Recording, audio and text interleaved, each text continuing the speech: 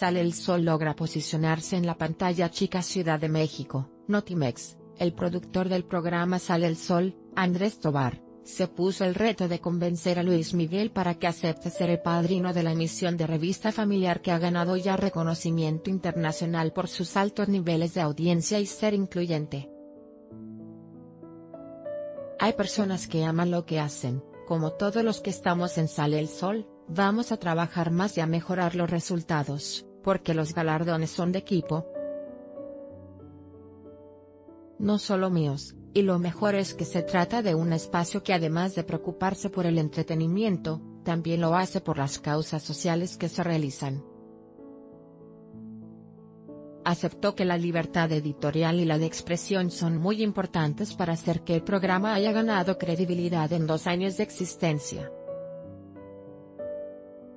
La prueba es que el festejo de este par de años se palpó el pasado jueves con el más alto rating en la televisión mexicana, y por eso vale la pena buscar a Luis Miguel para invitarlo al programa Sale el Sol, que genera un contenido útil para toda la familia. El también director de Imagen Televisión propuso al conductor Carlos Arenas contactar al Sol.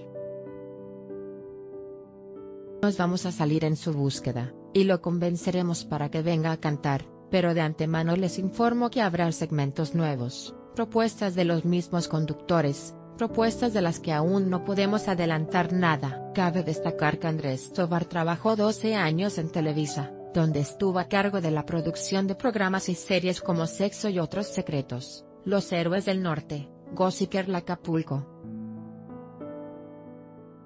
Hermanos y Detectives, Cloroformo y Teletón, además de crear en Sale el Sol los segmentos de Luz María Cetina, Yoga con Luz, Plaza Sésamo y El Minuto que Cambió Mi Destino.